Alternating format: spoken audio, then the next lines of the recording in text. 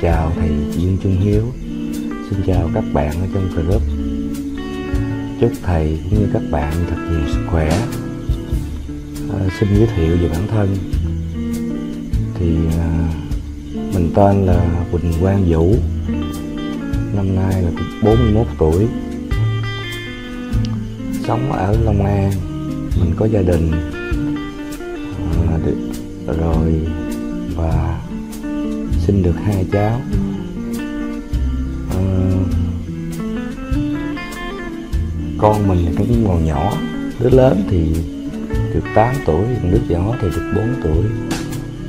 Bà xã thì làm về sale bên công ty Vika lương thì cũng được khoảng 6 triệu tháng. Thì lương của bà xã thì cũng để đủ để chi tiêu cho hai đứa con thôi. Và cũng may mắn là mình ở bên gia đình vợ và ông bà ngoại của hai cháu thì chăm sóc hai cháu cũng rất là tốt. Thì nói về nghề nghiệp của mình thì mình học trường đại học thủy sản, mình ra trường năm 2000 mình đi làm cái nghề thì ngành thủy sản thì được 14 năm, tức là từ năm 2000 tới năm 2014 cái năm đầu tiên thì mình làm cho công ty nhà nước. Lúc đó lương rất là ít, lương chỉ có 300 ngàn một tháng. Rồi bắt đầu từ năm 2002 trở về sau thì mình tới thời điểm năm 2014 mà lúc mình không còn làm cái ngành thủy sản nữa. Thì mình chỉ làm cho công ty nước ngoài thôi. Lương thì cũng rất là khá. Và làm cho nước ngoài thì công việc nó rất bật trực nhưng mà được cái là mình làm đúng cái năng lực của mình. Và mình không phải sợ ai mà bè phái hay này nọ. Nhưng mà sau khi làm, đi làm thủy sản, mình thấy cực quá. Mặc dù nó có tiền đi, lương một tháng có thể là được 15 hoặc 20 triệu. Thì mình đi làm đó thì gia đình mình cũng có tích lũy, cũng có dư nhưng mà khi đi làm một thời gian, tại mình phải đi làm xa rất là nhiều, xa gia đình, xa vợ, xa con. Và có nhiều lúc mình không về thăm được gia đình, mặc dù có đám ở nhà có đám. Mình nhớ một lần có đám cưới em gái của mình. Mình phải đi làm xa. Mình xin phép mình nghỉ, mình về thì không được. Vì công việc nó nó đang cần gấp để xuất một cái lô hàng đi qua Mỹ. Mình không về được. Mình rất là buồn và mình buồn mà bực tức nữa. rồi đi làm tới năm 2014 thì bà xã mình ở nhà cũng buồn nói thôi anh ở nhà đi anh kiếm việc gì gần nhà anh làm thì khi năm 2014 mình sinh bà xã mình sinh đứa con thứ hai thì mình quyết định nghỉ mình làm nghỉ ngành thủy sản nữa. thì à, mình nghỉ thì cũng ở nhà được mấy tháng rồi được cái ông anh bạn hồi xưa cũng làm trong cái ngành thủy sản. Bây giờ anh mở công ty về gia cầm. Thì anh thấy mình như vậy. Nói chung là bạn cùng ngành đó, thì anh mới mời mình về làm quản lý của một cái nhà máy ấp trứng. Cái công ty này nó thuộc tập đoàn Mâu của Pháp. Anh đối xử mình rất là tốt và tạo điều kiện cho mình làm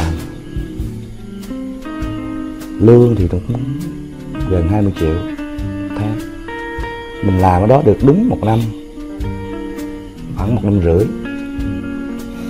Một năm rưỡi, trong một năm rưỡi đó thì công việc mình làm nó cũng tốt, chính sách của công ty cũng tốt. Và sếp thì đối xử của mình cũng tốt, cũng tạo điều kiện cho mình. Nhưng mà mình làm có nhiều lúc mình cảm thấy mình không hứng thú để mình làm nữa. Ngày nào mình cũng phải đi làm, sáng 7 giờ rưỡi đi, chiều 5 giờ về, cứ ngày nào mình cũng phải theo cái lịch trình đóng đúng như vậy.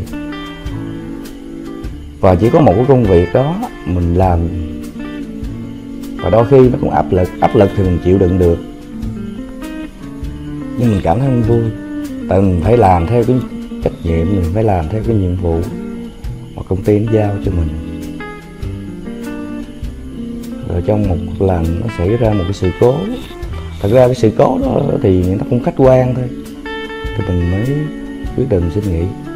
Để mình không còn hứng thú để mình làm công việc đó và mình không muốn ai mà phải sai. Khi mình, ai nói nặng, nói nhẹ mình mình không muốn cái vấn đề đó nữa. Và bản thân mình khi ai mà nói gì mình mình đều chấp nhận hết mình không nào mình cãi lại. Rồi mình ở nhà.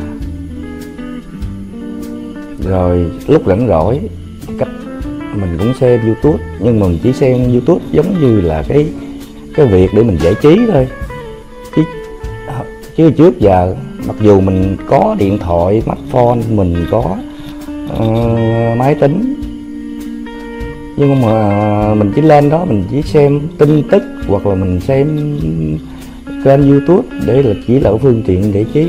Mình coi có mình có facebook nhưng mà mình lên đó mình chỉ đọc những cái hay thôi. Còn những cái mà mà nó không hay hoặc là những cái bạn trẻ mà có tư duy không có tốt chia sẻ những cái mà mình có cảm giác ở trên mạng nó đa số là những cái ảo nhiều. Nên mình không thích xem. Rồi vô tình mình coi về, về cuộc sống Mỹ mình vô tình vào được cái kênh của thầy Dương Trung Hiếu. Rồi ờ, mình xem một, hai video về cuộc sống Mỹ, mình thấy cũng hay hay. Rồi mình càng xem rồi bắt đầu mình mở lại những cái video cũ của thầy Hiếu mình xem. Mình xem ở trong đó. Thì có dạy, mình học hỏi rất là nhiều điều. Thầy chia sẻ về những cái cuộc sống về cái cách suy nghĩ, về cái cách tư duy, về cách sống. Rồi những, rồi về những cái kiến thức để mình kiếm tiền với youtube, về MMO và lúc đó mình chỉ xem, mình xem, mà xem tới, xem lui, xem tới, xem vui mình tự suy nghĩ không biết cái này là nó có mình có làm được hay không. Mình cũng tin đó mình không biết nó có làm, mình có làm được hay không tại vì mình không phải là là mình là là là là, là, là kỹ sư thực phẩm. Mình không phải là là là, là dân IT mình không giỏi không biết gì công nghệ thông tin. Mình chỉ biết sử dụng máy tính. Đơn thuần giống như là những văn máy tính văn phòng thôi. Rồi mình xem mình xem tới xem luôn có những cái bài bắt đầu từ như thế nào. Rồi mình mới tập tành mình làm đó mình cũng mình bắt đầu mình tạo gmail rồi mình tạo kênh. Tức là những cái bài mới nhất của thầy hiếu đó, mình đều xem hết. Bắt đầu thầy tặng cái giáo trình đó với sinh một mình cũng là một trong những người đầu tiên mình download về. Ừ. rồi ờ, giáo trình version 2 mình cũng là người đầu tiên mình load về mình cài vào. Giáo trình version 3 ba 3.1 rồi qua mình học theo đó mình mới tạo. Thì hiện giờ mình thì mình tạo được tại vì mình có mình chỉ có một số điện thoại của mình và số điện thoại bà xã mình chỉ mới tạo, tạo được 8 cái gmail. Và hiện giờ là mình chỉ mới sử dụng được hai kênh. Một kênh là Long An dấu yêu thì mình up được hơn 30 video. Và một cái kênh là cái tên của mình Quỳnh Quang Vũ thì cái kênh này để mình xài trên điện thoại, để mình khi mình đi đâu, mình cũng mở lên để mình xem những cái bài chia sẻ của thầy.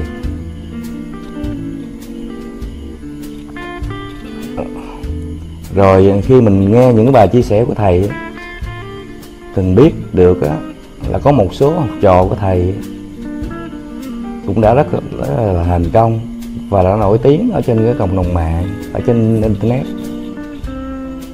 như anh Hoàng Sơn anh Tuấn Dương Lý Hương rồi Vĩnh Lâm rồi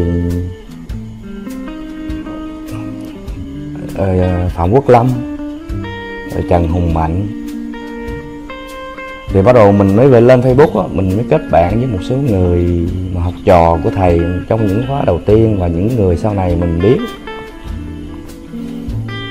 thì cái người đầu tiên mà mình mình mình kết bạn và mình mình mình, mình chat để mình nói chuyện là anh Hoàng Sơn. Anh rất là nhiệt tình và và anh sống đúng giống như cái, cái, cái tư duy mà của thầy chia sẻ. Biết cái gì anh chia sẻ cái gì mình không mình làm nó không đúng hay gì thì anh cũng góp ý và anh cũng đưa ra những cái lời khuyên lần đầu tiên mình nói anh anh sơn là mình muốn làm người youtube. Rồi ờ, mình coi đó là có con đường chính của mình. Thì anh sơn hỏi với mình, hiện giờ mình đang làm gì? Thì mình nói, bây giờ mình không có làm gì hết. Bây giờ mình đang ở không và mình muốn tập trung nữa làm này. Thì anh chia sẻ tới bây giờ, cái con đường này nó rất là dài. Mình phải tìm cái công việc gì để mình làm còn cái này thì mình phải học rồi mình làm mình học mình làm. Và cái cái cái cái, cái việc mà kiếm được tiền đối với mỗi người nó nhanh hay chậm thì tùy theo mỗi người và nhiều lúc nó cũng không có nói trước được phải kiên trì. Nên mình phải có cái công việc để mình có cái thu nhập để mình trang trải trong cái cuộc sống của mình. Thì nghe là anh sơn thì mình cũng đi tìm việc. Nhưng hiện nay thì mình cũng chưa có việc được có việc nhưng mà nó cái việc nó không ưng ý việc mình nó không có có được. Giống như cái cái cái, cái ờ, ngành học của mình nó chuyên môn của mình thì mình cũng rất khó làm. Thì cũng rất là may mắn ngày chủ nhật vừa rồi là ngày thứ bảy vừa rồi tức là thứ bảy vừa rồi ngày 11 tháng 8 thì mình được may mắn được anh Sơn, anh mời. Ờ, về nhà ảnh đi. Ờ, ờ, gặp mặt một số anh em mà làm về vlog Sài Gòn. Những người đó đều là học trò của thầy Dương Trung Hiếu. Anh Hòa Sơn, anh Tuấn Lâm em, anh Tuấn Dương Lý Hương, Kim Liên Vĩnh Lâm, Dương Đức Nhã mà mình ấn tượng nhất là ảnh bạn Dương Đức Nhã. Ảnh làm, ảnh có một cái kênh đã kiếm được ngàn đô trong một tháng rồi. Rồi xong bị cái tắt kiếm tiền và chết kênh rồi bắt đầu ảnh làm lại. Ảnh làm rồng rã 7 tháng trời. Và bây giờ chưa có bật được kiếm tiền anh vẫn làm mà mình ngồi nói chuyện với những anh em trong vlog Sài Gòn. Thì mấy anh chia sẻ rất là thật lòng. Và mấy anh nói quan trọng nhất á, là mình phải kiên trì. Cái thứ hai nữa mình phải có cái tư duy tốt. Và mình làm những cái video nó phải có cái nội dung mà có giá trị đối với người xem. Cái nội dung dung nó là quan trọng nhất còn mấy cái sale siết nó là chỉ như là cái phần phụ thôi. Còn cái nội dung là nó quan trọng nhất. Và cái chủ đề nào để mình làm sao cho nó xuyên suốt cái, cái một thời gian dài mà nó không đấy ờ, có ờ, mình bị bí cái đề tài và mình phải phải xem cái bản thân mình đó. Mình lợi thế về cái gì? Cái nào mà mình lợi thế nhất thì mình phải đi theo cái hướng đó. Chứ mình không phải, không có lợi thế thì mình không thể nào mình đi theo cái hướng đó được.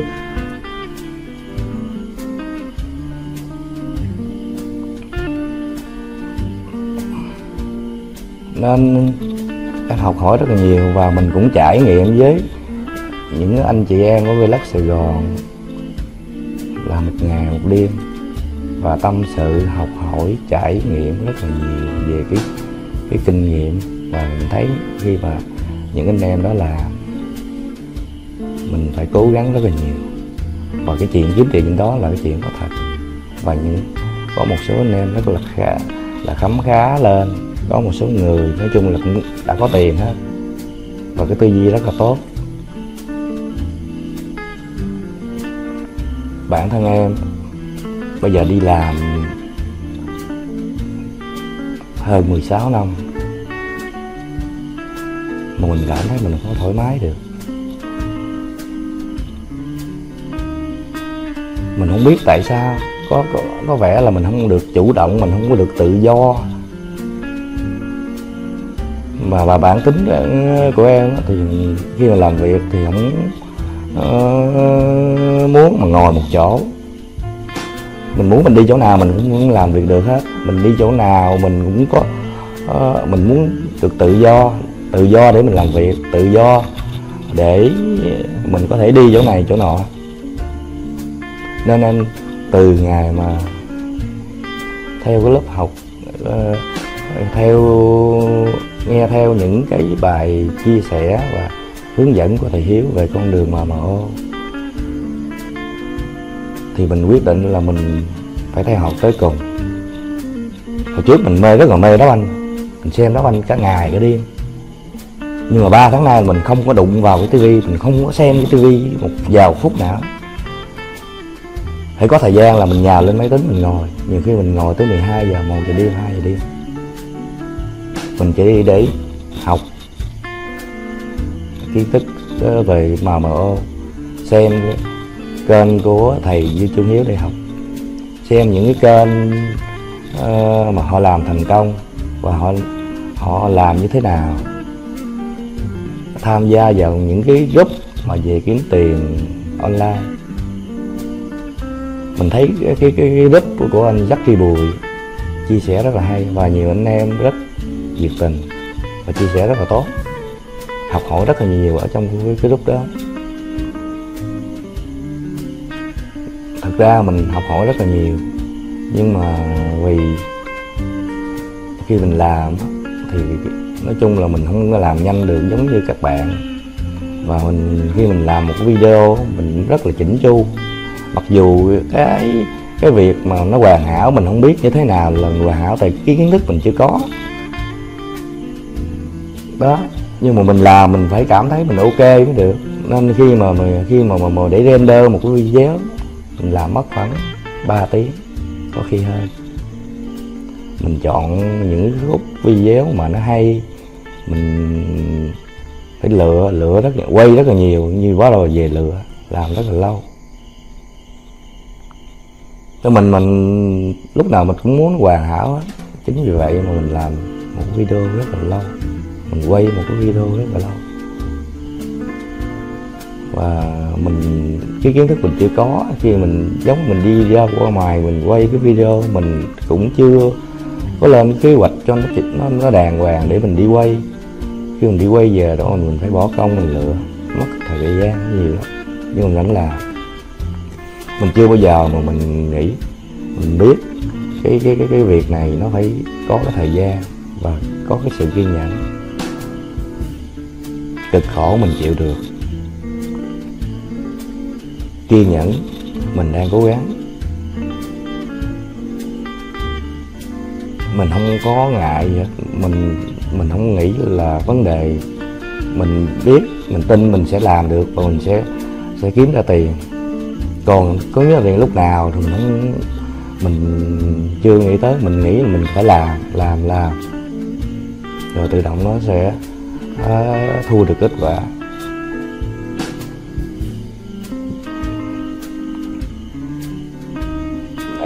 Lúc đầu em nghĩ là khi mà em quay cái video này là em phải lên một cái kịch bản, viết ra một cái tờ giấy để mình mình nói. Nhưng em xin lỗi thầy, tới bây giờ em mới làm được cái video này. Và em muốn, cái cái lần đầu tiên mà em quay cái video cho em em không có cầm một tờ giấy, không có cầm một cái kịch bản, cái gì hết. Và em cứ nói tự nhiên giống như những gì mình suy nghĩ, mình nói. Với em rất may mắn được anh phát huy, anh hỗ giúp đỡ rất là nhiều trong quá trình mà em bắt đầu em làm những cái video đầu tiên. Anh huy, hỏi cái gì anh huy trả lời, cần giúp gì anh huy giúp. Cảm ơn anh huy nhiều lắm. Em xin lỗi thầy là tới bây giờ em mới làm được cái video này. Em tính làm em định làm hai, hai ngày trước. Mà em không đủ can đảm để mà ngồi trước cái ống kính để em làm.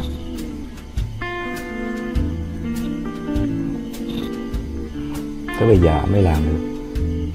Em không á lúc bắt đầu mà thầy thì xe à, thầy à, đăng lên một cái video của thầy giới thiệu về bản thân và thầy kêu gọi mọi người phải làm một video của, cho để để đăng vào group để cho thầy xem và mấy bạn cùng xem. Em nghĩ vấn đề đó, nó rất là nên và nó rất là quan trọng. Em chưa bao giờ em nghĩ cái chuyện đó nó không quan trọng hết, nhưng mình chưa có làm được.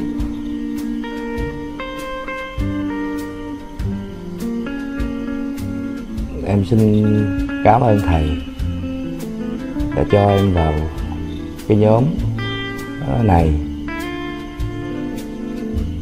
Nghe những cái lời chia sẻ của thầy, học hỏi được rất là nhiều về kinh nghiệm cuộc sống và cái tư duy thay đổi rất là nhiều. Mình không còn mà bốc đồng, mình không còn nóng tính giống như những ngày trước nữa.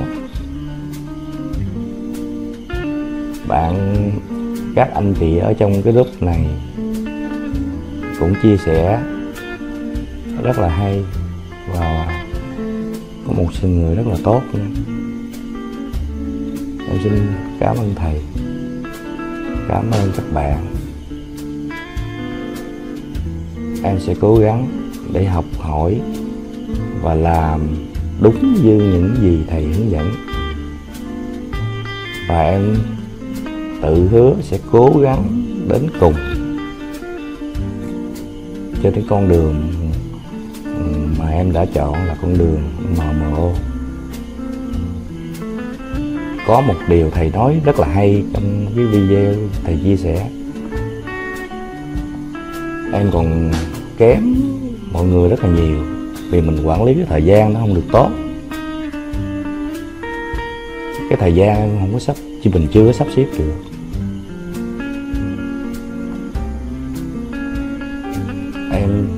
Để cố gắng học hỏi thầy thầy ở mọi người. Để những cái gì mình chưa tốt, mình sẽ cải thiện, mình sẽ cố gắng để rồi mình mới có thể thành công được. Em xin chúc thầy nhiều sức khỏe.